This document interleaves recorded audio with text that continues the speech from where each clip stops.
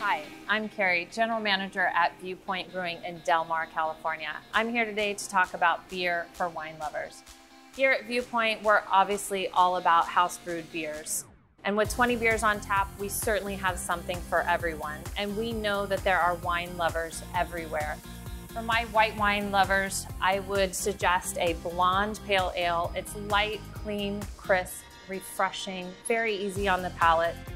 For my rosé fans, I would try a spicy single hop, single malt Saison.